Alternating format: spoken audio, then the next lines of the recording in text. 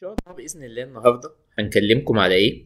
هنكلمكم على الفوبيا أو ما يقال عليه الرهاب وأول حاجة حابين إن إحنا نتكلم إيه الفرق ما بين الخوف وما بين الفوبيا أو الرهاب؟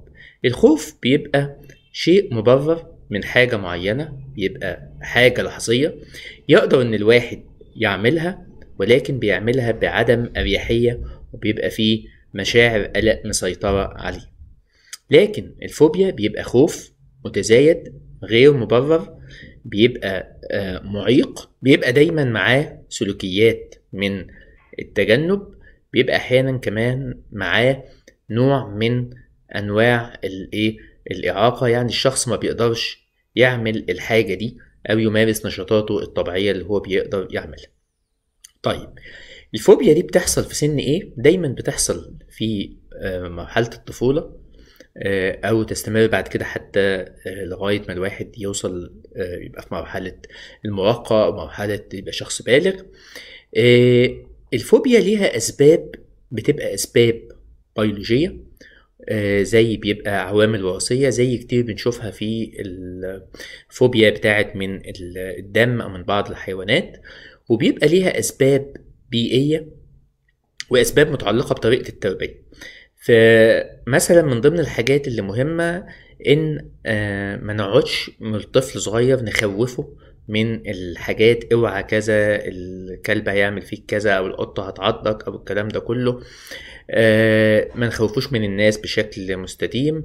كمان عندنا آه، ممكن أحيانا الشخص يبقى هو اللي اتعرض لموقف بدأ يخلق معاه الفوبيا دي زي إن هو مثلا قطة خربشته خد حقنة فوجعته. الكلام ده كله ممكن تبقى عوامل تؤدي إلى حدوث الشيء ده. طيب هي إيه أنواع الفوبياز؟ أنواع الفوبياز بتتقسم لثلاث حاجات. في عندنا فوبيا من بعض الأماكن أو الأشياء الخاصة أو ممكن آه، خوف أو اللي عليه الرهاب الاجتماعي. أو ممكن الأجاروفوبيا اللي هو الخوف من الأماكن المزدحمة أو الخوف من التسوق. آه هنتكلم سريعا على كل حاجة فيهم. عندنا الخوف اللي هو من الخوف الاجتماعي أو الرهاب الاجتماعي ده إن الشخص ما بيقدرش يبقى في مكان اجتماعي ما بيقدرش إن حد يبقى بيشوفه بيحس إن هو آه، روحه بتتسحب منه ما بيبقاش قادر يعملها. بيبقى دايما فكرة الفشل أو الخجل قدام اللي حواليه إن هو مش هيعرف يأدي. أحيانا بيحس إن صوته مش قادر يطلع.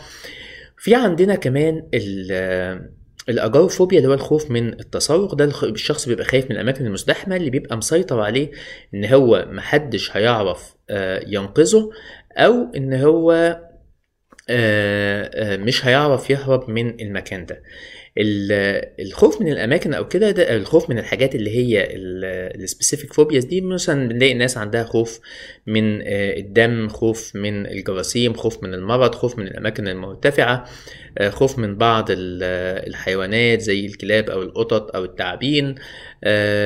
يعني بيبقى فيها آه، خوف إن هو يمشي في في نفق خوف إن هو آه، يركب الطيارة خوف آه، إن هو يسوق العربية خوف من الموت بشكل مبالغ فيه أو خوف من المرض.